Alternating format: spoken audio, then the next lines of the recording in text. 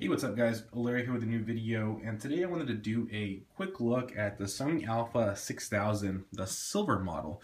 Uh, now, if you've seen my channel guys, I've actually had the Alpha 6000 for almost 8 months. I had the black one when it first came out, but when it first came out, this silver model wasn't available, so I only had that one option. Uh, after seeing it in pictures, I really just fell in love with the look and couldn't wait to pick it up. So I sold my black one and picked up the silver one, and kind of want to give you a overview on it since there's not that many videos on YouTube uh, of the silver A6000 and which is pretty pretty weird because this camera is absolutely uh, beautiful. That black and silver finish just looks, in my opinion, very retro and modern at the same time. I, I just love the look and I am so excited to have this camera. So uh, as you can see here guys, here's the camera with the silver kit lens it comes with. Now you can see that the silver doesn't match the lens, so this is more of a, it's a borderline almost I don't want to say champagne, but it's, it's getting close there. It's a darker silver, almost like a brushed steel, whereas in the silver lenses Sony has is more of an aluminum uh,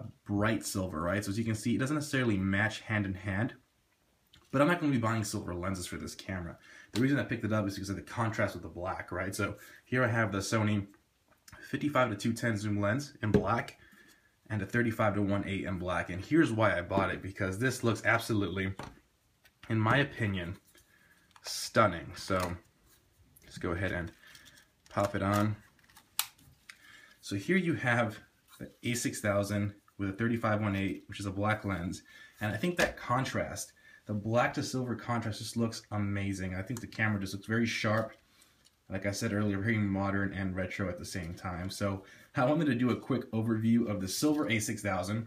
Uh, nothing else is different. All the button placements the same, of course, resolution, all the great video qualities, and photo taking capabilities are here, so just different color choice. And I think as of last month, Sony offers it in white as well, and an additional color I can't recall right now top of my head. So if you guys are looking to pick it up, I think silver is absolutely great. Now keep in mind, some photographers like being very stealth, so the black is the way to go. You really can't tell what the brand of the camera is or what type of camera it is when it's all black. You can black out the logo. So I mean, it's all preference when it comes down to this, but in my opinion, I love this look and wanted to do a quick video on it since there's not many A6000 videos on the silver model. So hopefully you guys enjoyed it. Hopefully if you were looking into the silver, I might have convinced you to go ahead and just pull the trigger on it. So please like this video guys, please subscribe, and I'll see you on the next one.